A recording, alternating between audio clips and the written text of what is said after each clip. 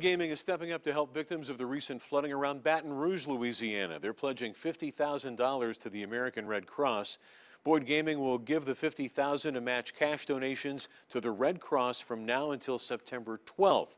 If you'd like to help, just go to the link we've set up on our website, ktnv.com.